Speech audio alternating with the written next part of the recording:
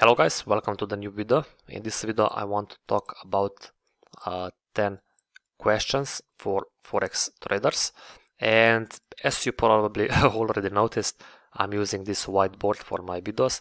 I don't want to uh, write you everything on the text. I want you to listen, listen carefully uh, to my words and that's how you can uh, benefit from those videos. I'm not going to uh, write down all 10 questions right here but I want you to listen to the video carefully. And the reason for this video is simply because in trading in order to become and stay actually consistently profitable trader you will need of course take a full responsibility for your actions and decisions. And those 10 questions i will uh, tell before uh, later sorry uh, were made in order to improve your trading because in trading uh, your decisions your actions have also con consequences on your trading process overall. So you know in trading the traders the ones who are successful they lead they take ownership for their mistakes and success. And if you are you know struggling with your own forex trading or you're looking to uh, you're looking for ways to improve your daily trading process, then of course I want you to answer on 10 questions I will tell later. And if you are able to, let's say, answer on most of them with skills and habits, but if you answer with no on most of those questions, then of course you need to fix something you need to fix those mistakes as soon as possible. So the first question you need to ask yourself in order to fast track your trading process is Do I follow my trading plan and rules of my forex trading strategy on each and every trade I take? The second, do I use my trading journal consistently and review my trades to build my trading confidence, learn from my trades, decisions, and improve my trading process. Third one.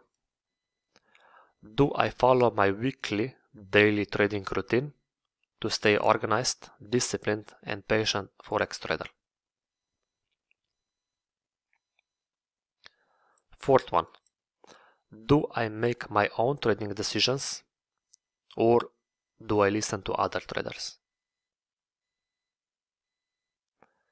Fifth one.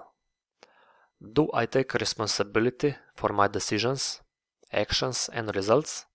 Or do I always blame the markets and everyone else? Sixth one. Do I believe in myself, my goals and my trading process?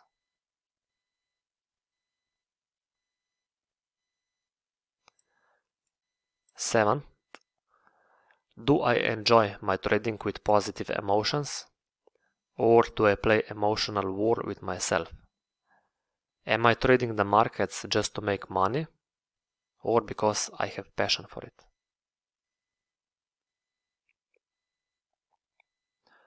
Eight one. Do I have a life outside of my trading to improve my mindset and focus?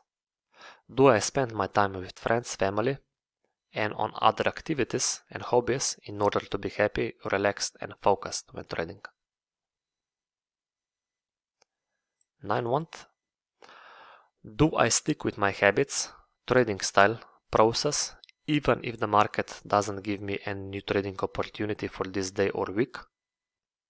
Do I think long term and stick to my trading style or I'm changing it frequently? Do I apply consistency or I always break it when the markets change.